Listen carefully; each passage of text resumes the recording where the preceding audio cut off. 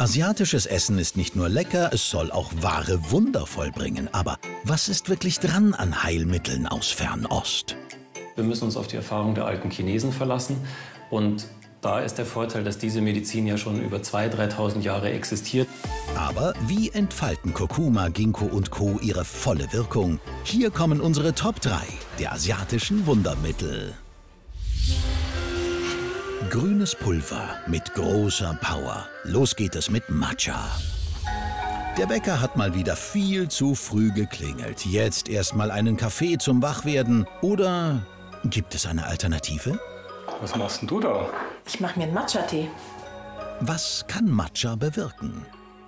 Matcha-Tee habe ich auch schon mal probiert. Ja, es wirkt halt belebend. Ja, irgendwie so, so ähnlich wie Mate-Tee.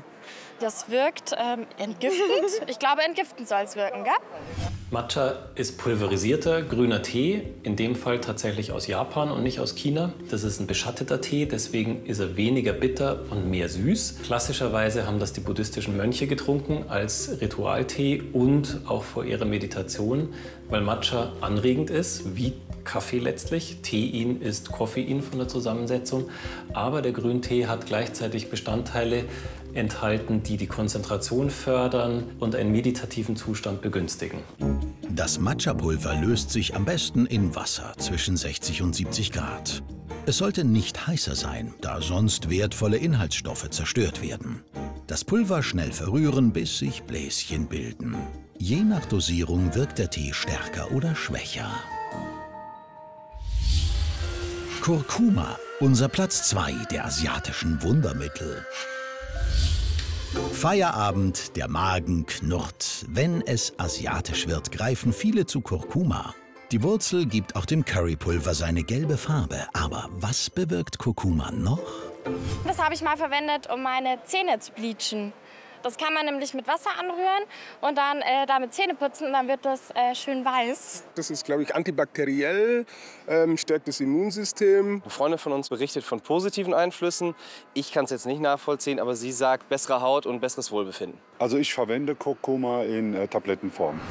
Kurkuma wird auch in der chinesischen Medizin als Arzneimittel hochgeschätzt. Da gibt es sogar verschiedene Arten mit diversen Wirkungen. Und jetzt kommt ein großes Aber. Die empfohlene Dosierung, um gesundheitlichen Nutzen zu ziehen, liegt bei ca. 3 bis 5 Gramm. Das heißt, für die Einnahme zu gesundheitlichen Zwecken würde ich sehr empfehlen, Kurkuma in Form von Kapseln einzunehmen, damit man die erforderliche höhere Menge überhaupt erreicht. Kurkuma ist leicht scharf und bewegend. Das leicht scharfe hilft dem Körper, eine gute Verdauung zu gewährleisten. Das Bewegende wiederum nutzen wir in der chinesischen Medizin für Gelenkbeschwerden. Kurkuma stammt aus Südasien und wächst am besten bei tropischen Temperaturen und hoher Luftfeuchtigkeit.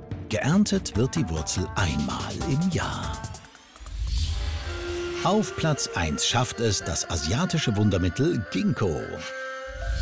Kreuzworträtsel, ein Klassiker. Doch der Kopf ist leer. Dabei liegt einem das Wort auf der Zunge.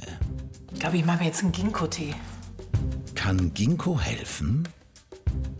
Ginkgo habe ich selber noch nicht probiert. Ich habe nur gehört, es ist äh, förderlich fürs Gedächtnis. Ich glaube, das ist für Kopfleistung, dass mein Gehirn, das, äh, wie sagt man so, nicht abstirbt, sondern so gesund bleibt. Ich weiß, wie der Baum ausschaut, aber mehr weiß ich auch nicht. Ginkgo ist ein Baum und beim Ginkgo verwenden wir die Blätter als Arzneimittel. Blätter sind leicht, wenn man sie ins Wasser gibt, um einen Tee zu kochen, dann schwimmen die Blätter oben. Dieses leichte oben schwimmende soll also ein Signal sein, dass Ginkgo auf den Kopf wirkt damit die Konzentration fördern kann und ist von daher gut bei Gedächtnisstörungen, Müdigkeit, Konzentrationsverlust.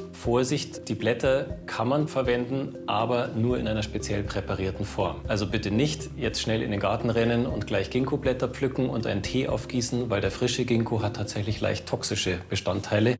Am besten eignet sich Ginkgo in Kapselform. Um eine Wirkung zu erreichen, muss der Blätterwirkstoff mindestens sechs Wochen lang eingenommen werden.